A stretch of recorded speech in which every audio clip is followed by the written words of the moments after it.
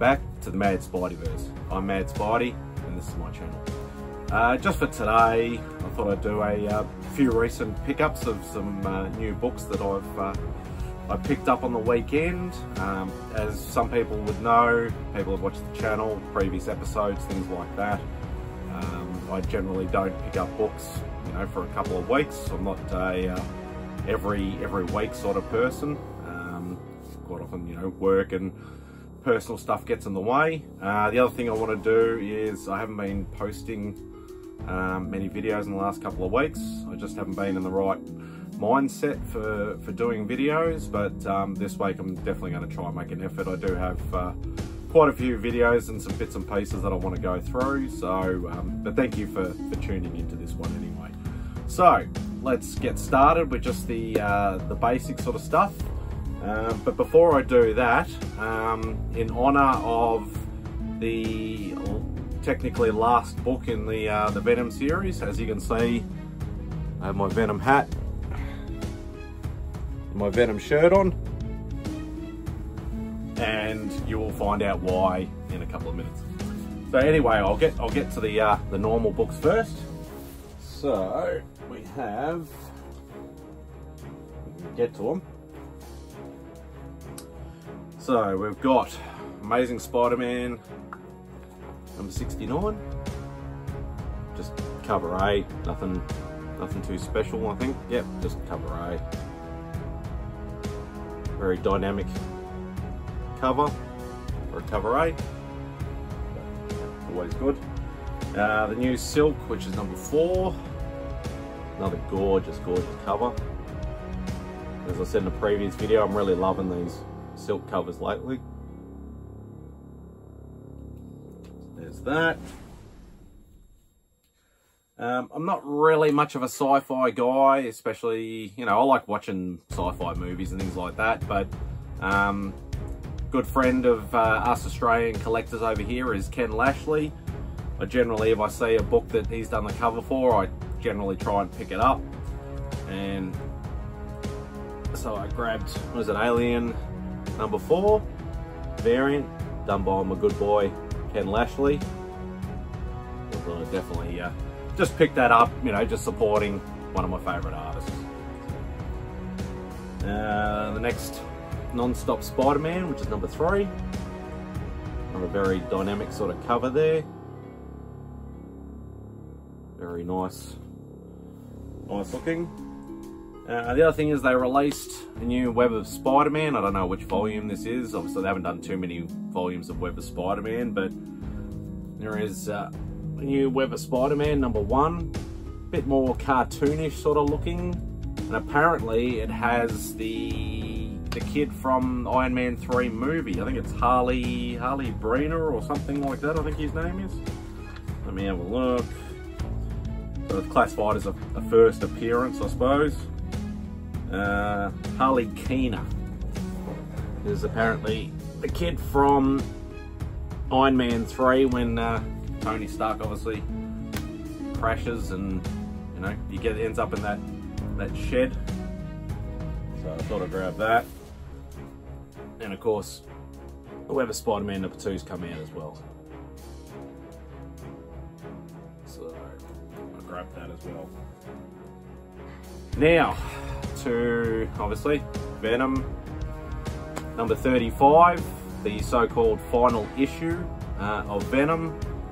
I won't give anything away or anything like that, but I did go just just a little nuts on them, and they're a thick book, like they're almost like a small trade. Um, I did say to the comic shop, which is Big City Comics uh, here in Melbourne, I did say to them, uh, whatever co whatever covers you get, um, that you have spare that are not already, you know, obviously pre-sold for people's pull lists and things like that. Whatever covers you get, you know, just chuck them in my uh, in my pile and I'll just grab them. Thinking I might get maybe one or two, maybe five at the most. I think I ended up getting something like 10 or 12 and they are a more expensive book over here because of the, the thickness of them. I think they ended up being almost $20 a book, but I suppose for a landmark sort of issue, I decided to go for it anyway. So, first one up, one of the variants, apparently there's about 24, 25 variants, something like that. It's done by a guy named, now I might screw up his name a bit, but it's Jeffrey Veregge, I think it's pronounced. I'm not 100% sure, but um, it's very sort of simplistic, sort of artistic sort of style. Very nice looking.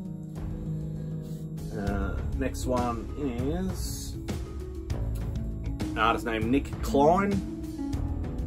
One of that sort of newer, or newer to me, should I say, newer up and coming, but I really like that.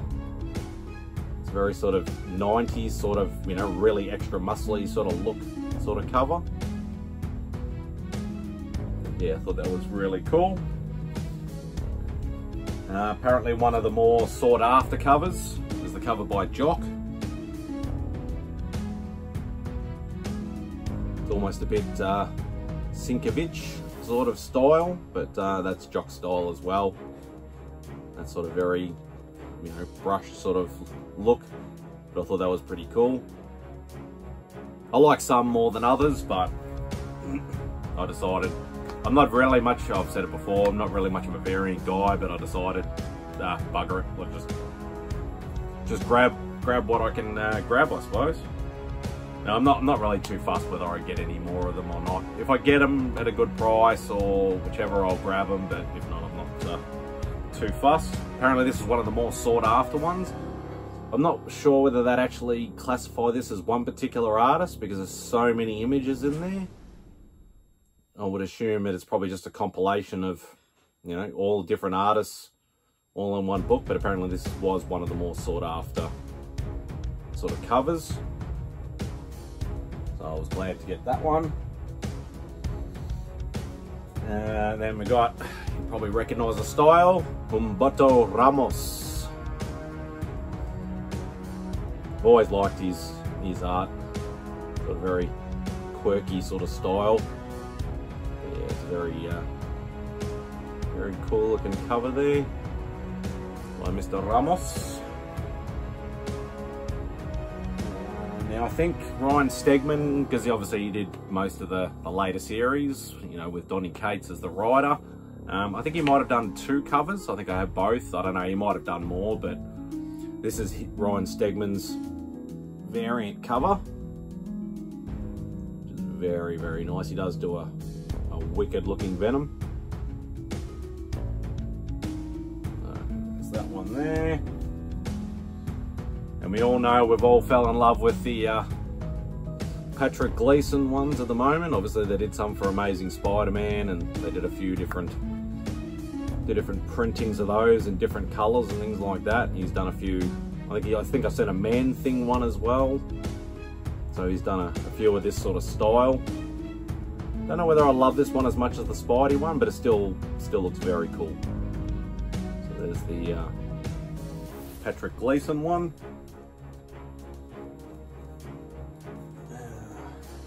Another new, sort of newer to me, should I say. I'm not going to call people new because they might have been around the industry for 20 years for all I know, but Kyle Hotz is a sort of name I've only known for probably about the last 12, maybe two years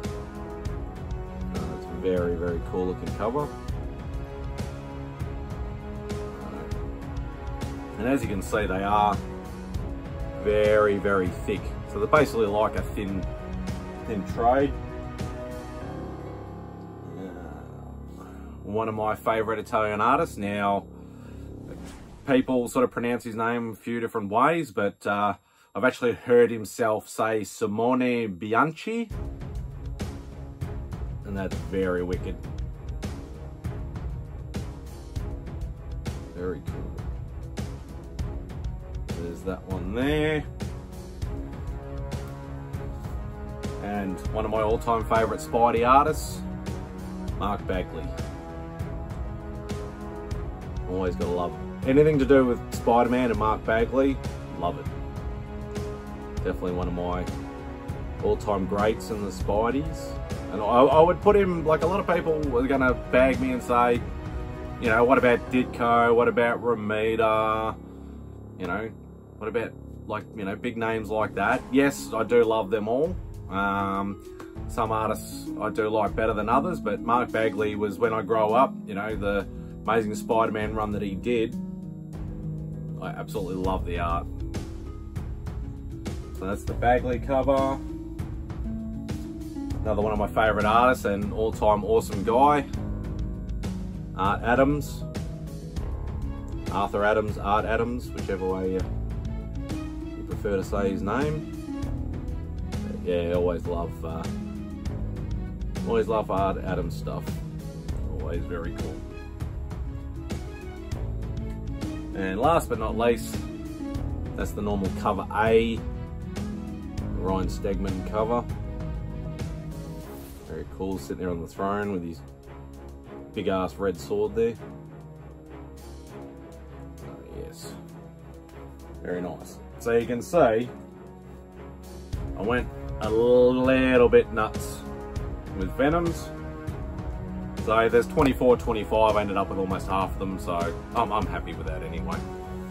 But anyway, that's it for today's show. Thanks for tuning in. Now please, if you haven't already, can you please hit that subscribe button down below. If you'd be, you know, extra kind, give me a thumbs up and um, yeah, enjoy the rest of your day. Spidey, out.